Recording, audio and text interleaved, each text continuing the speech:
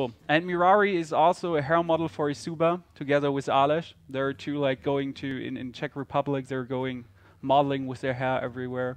Really? Yeah, I'm not joking. That, that's this that's a real life fact too. You're you're trolling. As I am a hand model too Wow, for okay. for Douglas. Yeah. Sometimes when I'm when Screw I'm Screw you, Mats. I wasn't lying to you. let's start the game. We got for Faramir a rogue again versus a druid. So this looks like we we could say we maybe started the wrong files here, but it's actually the same matchup. It's druid versus rogue again, and if it goes like the first game, Faramir should win here. 2-0. 2-0. Whoa. Well, we'll see if it's actually the same same version, because It's more mid-rangey already with the Argent Commander for Mirrari. no, no, I wasn't talking about Oh, Mirrari. I was talking about Faramir because he uh, Via played the Acolyte version, and they are from the same team, so it's not unlikely that they actually, yeah, run Acolytes because y- they talk with each other, you know, teammates. That's Teammate. what teammates do. That's what teammates do. Well, let, let's see what what Faramir has prepared here. So he's a rather good hand actually prepared. Um, but Mirrari for Mirrari, it's looking well. He has a he had a relic rose. He has a face manipulator and always already Argent Commander plus swipe roaming around. That looks like extremely good. But for Faramir, he has his claws full of everything. He can just go, whoa, auctioneer on turn five, coin, stuff, go crazy. Has Van Cleef also. Really nice and potent hand going on here for him. I'm if I if I see the hands at the moment, I say Faramir wins. yeah, I'm I'm rooting for Faramir with that hand. It's quite it's quite crazy what he's holding. But whoa, he's getting the taunters Mirrari. That's extremely important. If you, wow, Well, it's, it's not surprising. You don't want to go taunter if he saps your minion, but if he well he had backstab eviscerate anyways, so it doesn't matter. Well- he he would have killed your minion. he would have at least forced something. well, he would have at least forced something, but That way he can just go backstab SI7 and kill it off. correct. Like you, you dealt your four damage, but if he needs to use an eviscerate and like an eviscerate to kill your taunt, first of all, that's that's two mana, which is nice. Second of all, that's four damage. You take less. It's, it looks like a via play too. So he went coin, eviscerate plus Van Cleef, and it's a six-six Van Cleef. So no big game hunter. Well, no Argent Commander can kill it. That's kind of annoying.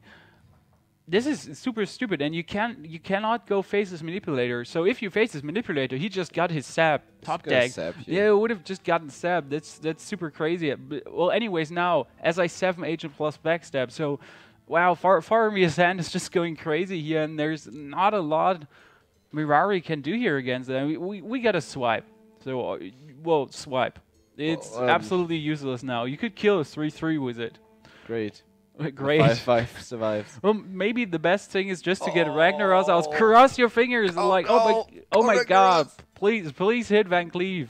Not as I. Yes! Ooh, That- nice. that, that There worked, you. that were good. So that's o- the he first owned good that move. shit. The main problem still is he could even kill it if he wants to.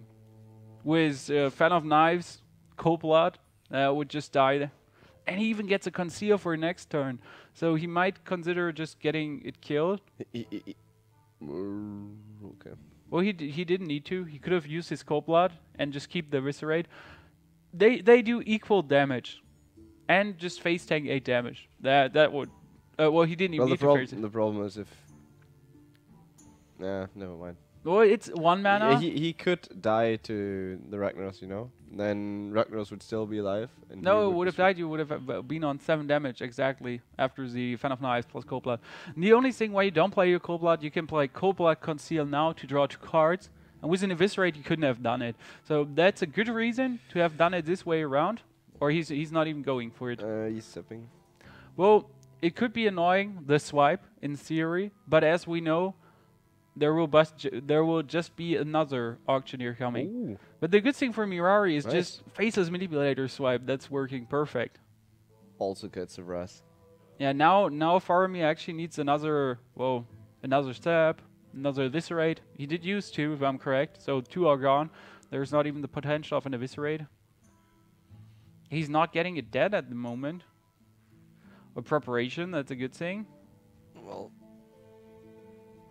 But that's not a good thing. so gonna help. well, Co- Cold just draw another card. The only uh, bad thing is you could have played your Selness. See, that's a different version. Well, It's we, loot hoarder. well, you haven't seen the loot hoarder from Via. It might still be in there.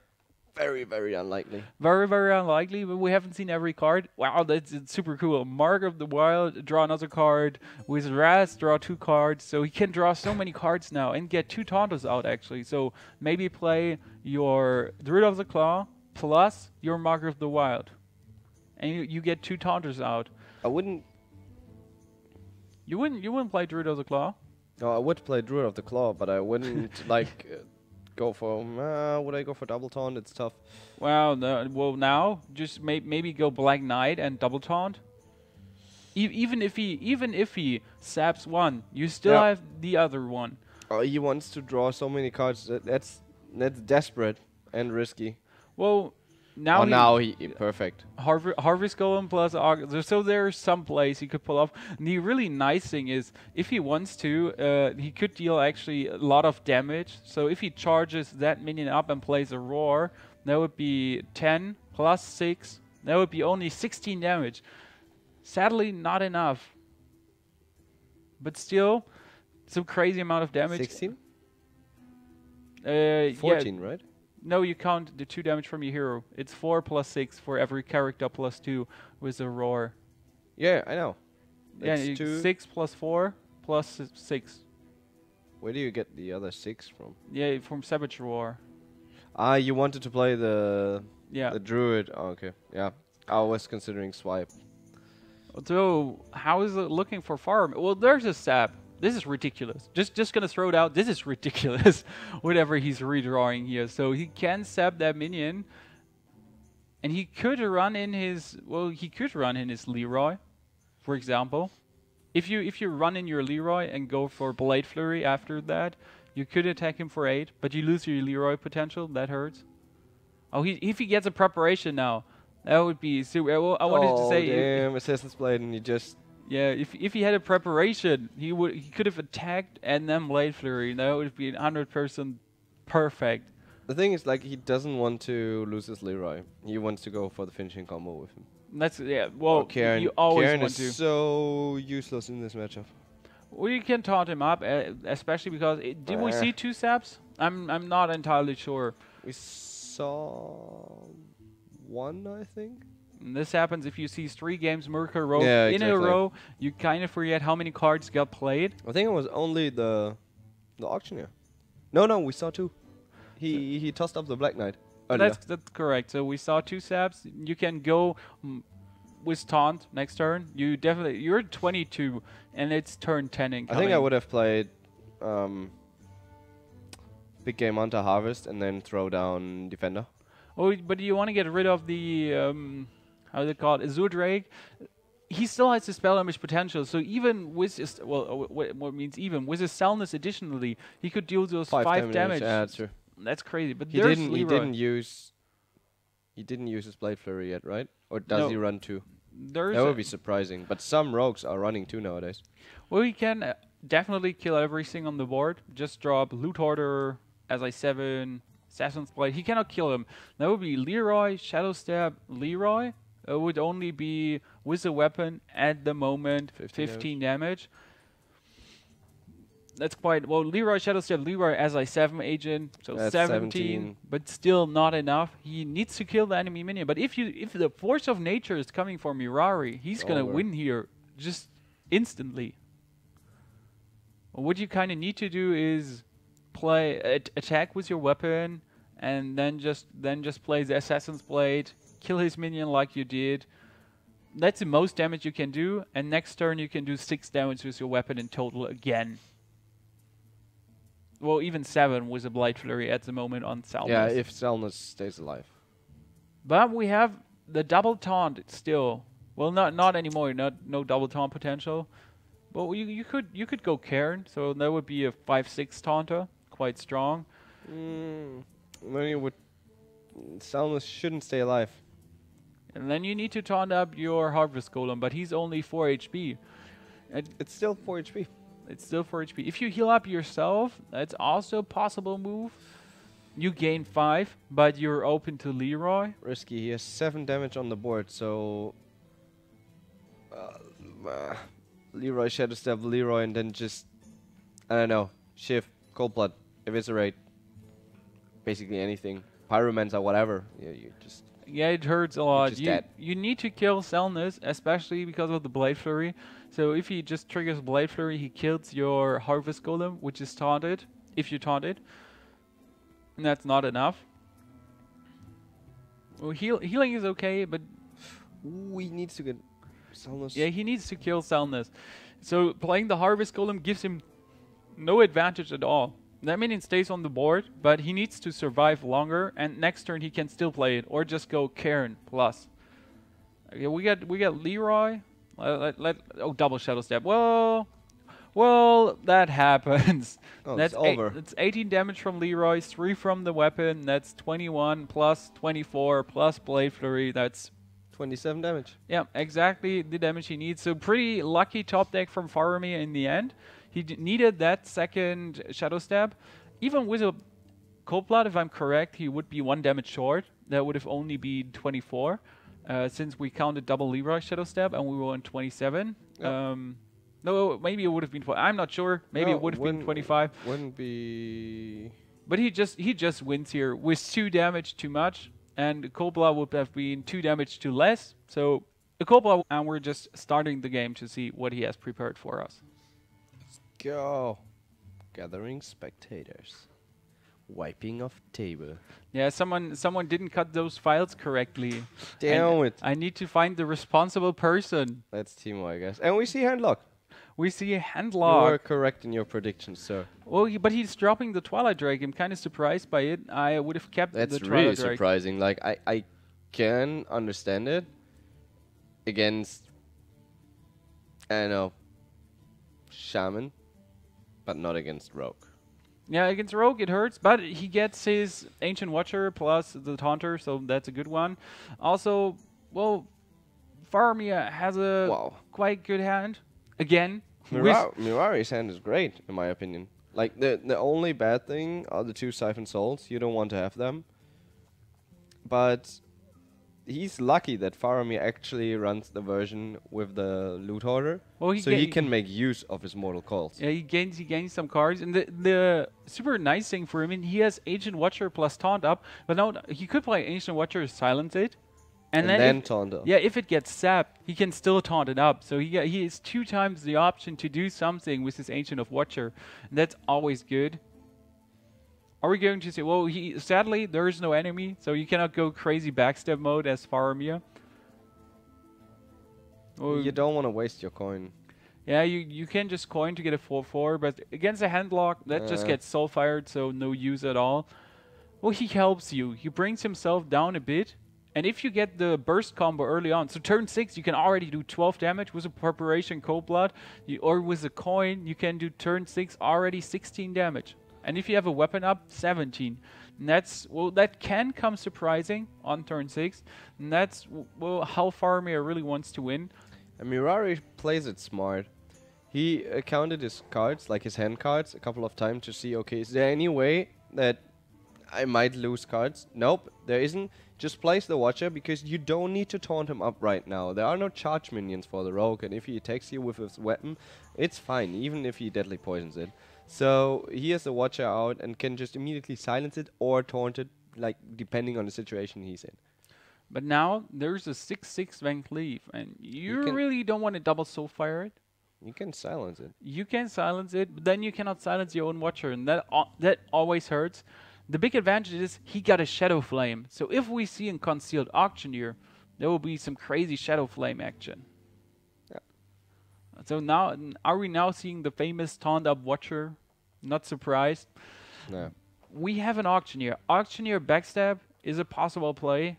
If w- well, if we had seen the preparation, I would have said that's a definite play. That's a must. Where you're going to see it. And now, maybe sh- maybe Shiv, the two three, play as a seven agent, attack with your weapon the two one, and just just have a three three and a two two out against the four five. I would throw out. I think I would throw out my Azure Drake. Mm. Use my backstab onto the Sun Fury and attack the owl with my weapon. That's uh, that's Just also chill. possible. The only good thing I like about my play, you draw well, you draw one card, but you draw as an Azure Drake one card Yep. t- to get also. But I, I kind of want to use my Azure Drake with the Blade Flurry. So with the with the poisoned up blade, I want to use it. But that's that's the only thing why I would maybe keep my Azure Drake. He actually goes for my play. Yeah, he likes he likes Azure Drake better, and you can do two damage shiv. So that the that's the thing is, thing. you have you have two damage shiv. That's that's great, of course, and you also get a four four on, out onto the board, which gives you control. well, it might just die now to a Soulfire. Yeah, but, I but then then you force first of all you force Soulfire and another random card from the hand, so that's definitely worth. That uh, definitely works. I'm not. I'm not gonna disagree with you there. Well, he loses a power Oh, overwhelming. that's that's harsh. Well, uh, you can you can deal with it.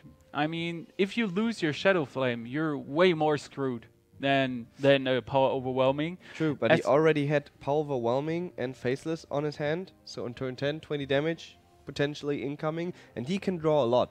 So like getting this Leeroy is not the the biggest problem. Only if he's the last card in your deck, and That's then true. you're then you're just sad. This this always can happen. So he's not relying on a potential combo. He's just playing with what he has. And the most amazing thing here is just five damage weapon, and not only five damage weapon. Next turn, he could make it a seven and do 14 damage in one turn alone with his weapon, and that's, It's that's crazy. That's crazy. So your enemy is on 23 HP, but they could melt quite fast. You seven damage next turn, if he wants to. But I would actually not do the the full damage I can. No. Maybe maybe well he healed him up. Now now I would. If he would be on 21, I would just do five, bring him down to 16. But now with 24, I would go for my seven damage blade, hundred percent. But wait wait one more turn to go crazy blade flurry mode. Just draw as many cards as you can now. So for example, auctioneer, backstab, Shiv. Cold, deadly poison. Now I would even go de- uh, I would go shiv. or, or just go double double SI7 agent plus deadly poison in the end. You get a lot of minions out. He wants to. No, he doesn't. Yeah. Hmm. He brings him down, and this is super nice. He brings him down to 17, and next next turn just deals 14 damage if there's no Tauntauta. And if there's a Tauntauta, well, then it's only 7 damage Blade Flurry. The smartest thing about the 17 HP that you just said was, just to explain it, he cannot play Molten Giant and the Sun Fury Protector or Defender of Argus, so there's no way there are really big taunts upcoming. The only thing, the biggest thing that could come is a Twilight Drake, and we see he's gonna throw him down. Well, there's a Twilight Drake, but that that one has only 9 HP. So a- after Only 9 HP, guys. after Blade Flurry, it's it's down to 2, and you can just kill it with one of your three threes or double shiv it. So there are some options you actually have here. A Blade Flurry would bring him down to how much HP? Eight. To 8, and he has two three threes on the board. So he could bring him down to 2 in total. If he Blade Flurries, double shivs, Wait, And- wait, wait, wait, wait. well, if he, if he double shivs and draws an no, Eviscerate, no, no, no, no, no, no, he has lethal. he has lethal if he double shivs the face. Or Yeah, he, he, he could just attack with his weapon, the force, the four nine, then go Like- for a blade flurry, attack with both. That would be 13 damage plus double shiv, 15. He was on 15, so you would die. Correct there, sir. That looks like the play you want to do. That's But if he plays his auctioneer, he cannot do it. No. So he, he can he can shiv again in the face. You, yeah. you were Now saying he's that. now he just realized it, I guess. Then, then he attacks the four nine with a blade. Well, you you're always going some blind mode. You don't want to damage, but as you say, you you attack the face, uh, you attack the minion, then you blade flurry, kill Yeah. everything. Well, he even gets the eviscerate. I was I was talking about the eviscerate. So he doesn't need it. Yeah, he, he, He doesn't need it. it. That's just, but it's perfect to actually have it. Well, what what Nice what, what, what what can we say here? We saw four games Miracle Rogue from Planet Key, four times that won. Maybe this is going to be But the diff- different